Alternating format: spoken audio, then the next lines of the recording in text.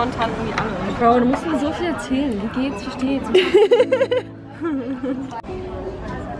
Weil ich gerade ein bisschen aufgeräumt und geputzt habe, gibt es jetzt endlich mal nach einem Dreivierteljahr ähm, eine richtige Roomtour. Starten wir mal ganz am Eingang. Wenn man hier reinkommt, ist der Gang hinter zur Küche. Und hier im Eingang ist direkt mein Zimmer. Ich liebe meine ganzen Pflanzen hier. Hier habe ich so ein paar coole Magazine. Ein bisschen Kunst von mir. Hier hängt Pulp Fiction Poster vom Mauerpark. Mein schönes Bett. Hier habe ich auch so ein paar Karten und Bilder und sowas. Ich habe nicht immer meine Tür so ein Teil hier hingehängt und da ähm, Kleiderbügel hin und dann ein paar Zeitungen aufgehängt. Hier auch noch ein bisschen Spacey Art von mir.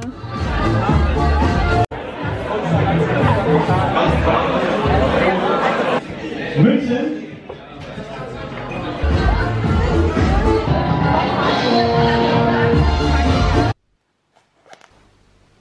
Ich sehe aus, als hatten wir Winter.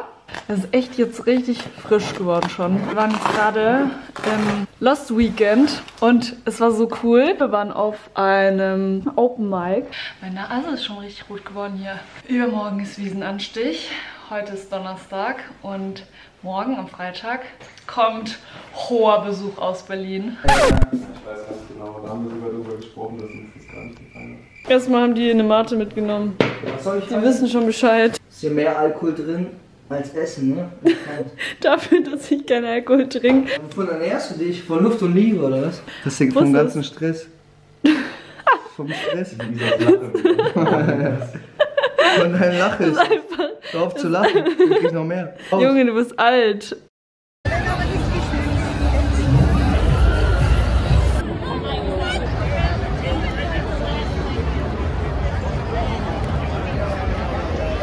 Ja, da der Maestro mit 39 Grad Fieber im Bett liegt und Corona hat, machen wir jetzt auch mal einen Test. Ach du Scheiße. Junge,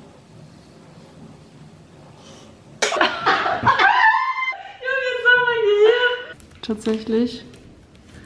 Kein Coroni! Da Nick ja Corona hat und seit zwei Tagen komplett flach liegt, dann habe ich ihm so eine kleine Tasche gepackt, so ein Smoothie gekauft, da steht Männergrippe drauf. Seine Lieblingskekse, Oreos, damit es schnell geht. Eine Buchstabensuppe, ein Corona-Test. Tempos, Tee, so ein Refreshment-Towel und natürlich ganz viel Obst, Kiwis und so eine kleine Karte.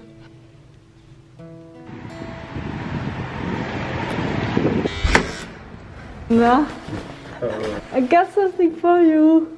Get well soon package. Darf ich dich ja nicht umarmen. Nein.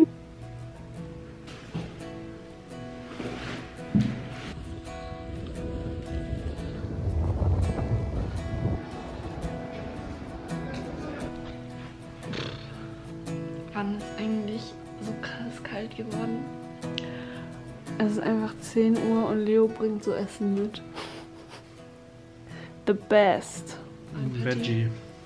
Aber so Beyond Meat oder so aus Gemüse? Also der Burger ist richtig lecker.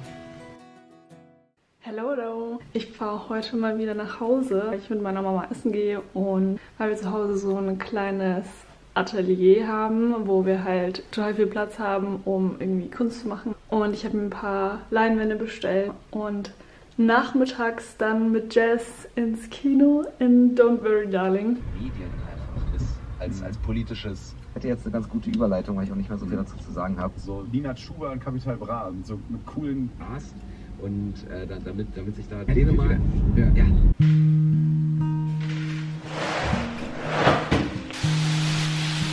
Extra so eine Plane bestellt. Meine Mama malt auch.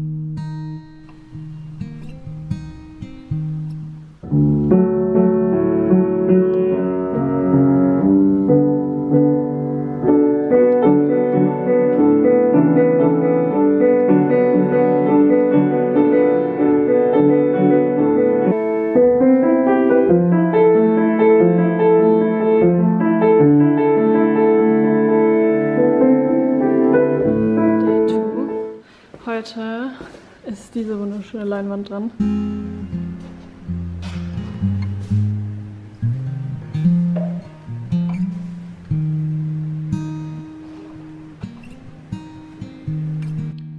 Das ist jetzt erstmal die Base und das muss jetzt erstmal extrem lange trocknen, weil es natürlich super flüssig ist. Oh Gott.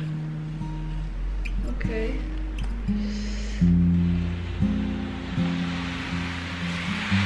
Oh yes. Okay, jetzt geht's ab. Mutter macht Musik. Hey, das ist Grave. Ja, voll. Ja. Das ist ein bisschen zu hart. Ey. Oh.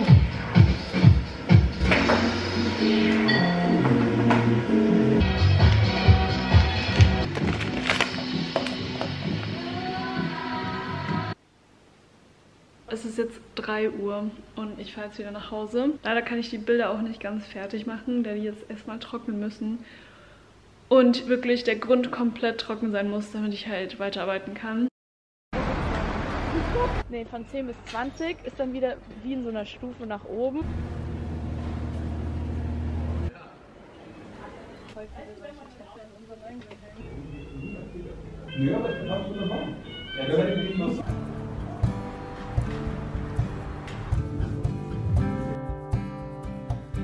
Komm, komm, komm, komm, komm. Aber ich habe einen Viererpasch. Oh, wow. Sehr gut. Hättest du doch wahrscheinlich sowieso gemacht. Moin. Ich ähm, habe mich ungefähr sieben Monate nicht gemeldet. Nee, Spaß. Also es waren, glaube ich, zwei Monate. Aber trotzdem, boah, ich habe einfach doppelte Socken an. Es ist so eng. Ja, es ist halt so eine kleine Gap jetzt hier zwischen dem letzten Clip und dem hier. Aber das ist nicht so schlimm. Ich vlog nämlich jetzt einfach weiter. Ich habe auch super viele Videos verloren, weil ich einfach zu dumm war, die Sachen abzuspeichern und habe dann einfach meine SD-Karte formatiert. Und dann war einfach alles weg. Ich ziehe mich gerade an, weil ich in die Uni fahre. Und ich habe in fünf Minuten Uni, aber ich bin immer noch zu Hause. Und ich habe einen äh, schönen Pulli abgezogen. Und das Coole ist, meine Chucks, die passen voll gut dazu, finde ich. Ehrlich gesagt ist nicht viel passiert, ne? Ich habe das hier neu hingehängt. Das Bild habe ich auch neu gemacht. Und jetzt kommt das Größte und das Coolste.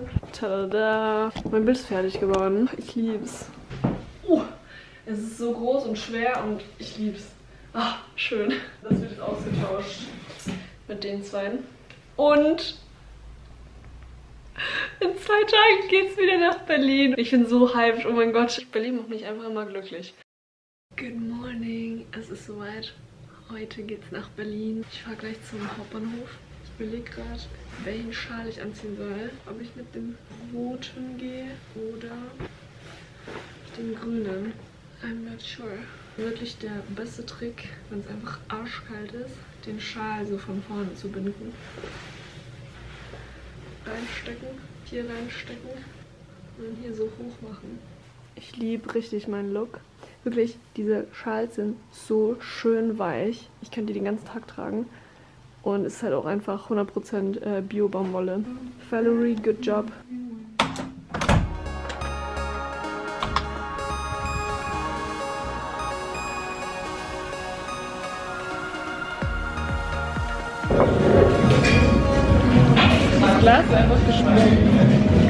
Wir sind heute bei Honky. Shoutout geht raus.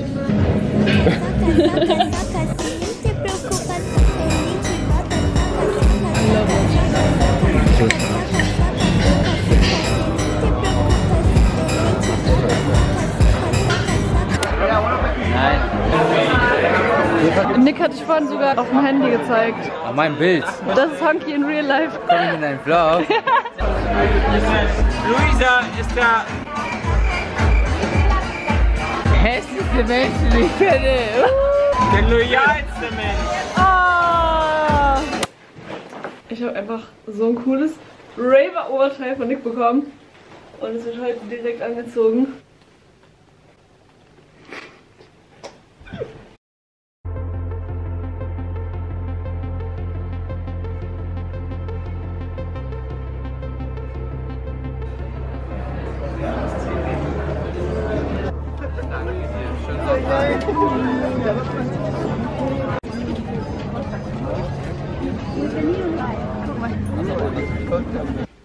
Hello, heute ist Sonntag und eigentlich war der Plan, dass wir heute Sonntag so um 17 Uhr circa ins Bergheim gehen. Und jetzt war es aber gestern so, dass wir die anderen getroffen haben und die wollten spontan gucken, wie lange die Schlange im Berghain ist. Spontan einfach mitgefahren und haben uns angestellt. Wir standen dann drei Stunden an und dann sind wir tatsächlich reingekommen.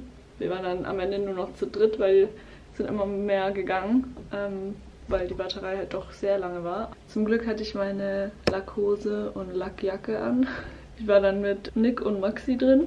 Es war irgendwie sehr human. Also ich muss sagen, ich habe es mir viel krasser vorgestellt weil ich schon viele krasse Dinge in Berlin in anderen Clubs gesehen habe. Es war richtig gut. Das Lichtsystem ist so heftig. Wir waren alle drei nüchtern. Also was Licht ausmacht, ich finde das so krass. Wir waren dann einfach drin und HP Baxter war drin, Stefanie Giesinger war drin. Einfach Scooter, Legende, hat die ganze Zeit neben uns geraved. Das war so richtig cool.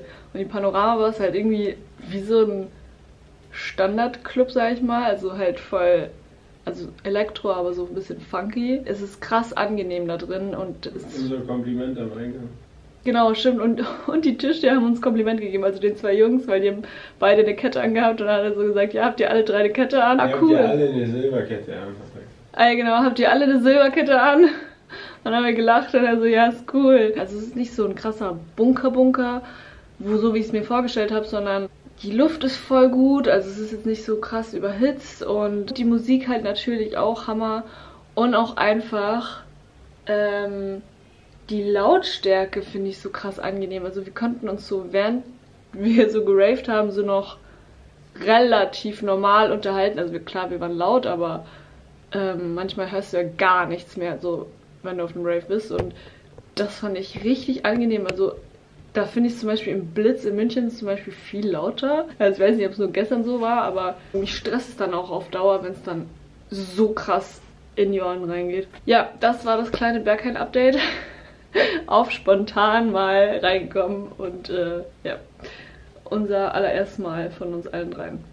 Aber war wirklich Hammer. Weg aus Berlin. Also ich habe so viele Magazine gekauft. Ähm, unter anderem war ich im Rosa Wolf Magazine. Ja, im Shop direkt bei 032C und habe da direkt die neue Winterausgabe mitgenommen. Und es sieht mal wieder so geil aus, das Cover. Schon wieder so nice. Ich muss aber meine Sammlung auf meinem Regal erweitern, natürlich. Dann habe ich auch einen richtig guten Klassiker. Der Dazed Magazine. Ähm, die kommen aus London. Ich liebe auch diesen Style. Das ist genauso mein das heißt Fact. Und ich kannte das einfach nicht. Deswegen habe ich es mitgenommen. Man merkt vielleicht, meine Liebe zum Editorial Design ist sehr groß. Und das war Magazin Nummer 3. Auch ein Klassiker. Heißt Nobiety. Die anderen sind richtige Bücher fast schon. Ich liebe das. Das ist so richtig fett und schwer. Wenn mir jemand coole Magazine schenken möchte, immer gerne her damit.